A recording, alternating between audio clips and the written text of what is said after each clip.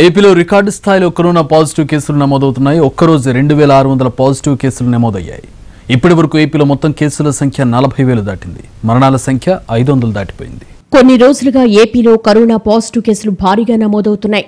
గడిచిన ఇరవై నాలుగు గంటల్లో రాష్ట్రంలో రెండు వేల ఆరు వందల రెండు కరోనా పాజిటివ్ కేసులు నమోదయ్యాయి.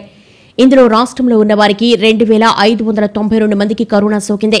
మిగతా పది కేసులు ఇతర రాష్ట్రాలు విదేశాల నుంచి వచ్చిన వారికి సోకినట్లుగా నిర్ధారించారు.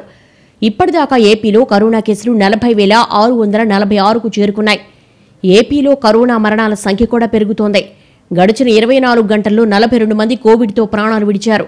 దీంతో రాష్ట్రంలో మొత్తం మృతుల సంఖ్య ఐదు వందల ముప్పై నాలుగుకు చేరింది. జిల్లావారీగా చూస్తే అనంతపురంలో ఆరుగురు చిత్తూరు తూర్పుగోదావరి ప్రకాశం జిల్లాల్లో ఐదుగురు చొప్పున మృతి చెందారు. గుంటూరు పశ్చిమ గోదావరిలో నలుగురు చొప్పున కరోనాకు బలయ్యారు. ఇక కడప విశాఖ జిల్లాల్లో ముగ్గురు కర్నూలు నెల్లూరు విజయనగరం జిల్లాలో ఇద్దరు చొప్పున కరోనా బారిన పడి ప్రాణాలు కోల్పోయారు. రాష్ట్రంలో నిన్న గత ఇరవై నాలుగు గంటల్లో ఇరవై వేల రెండు వందల నలభై ఐదు శాంపిల్స్ పరీక్షించారు.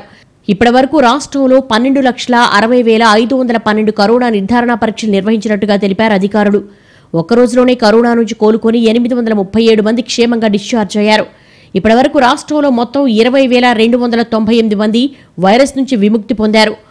ప్రస్తుతం పంతొమ్మిది వేల ఎనిమిది వందల పద్నాలుగు మంది చికిత్స పొందుతున్నారు.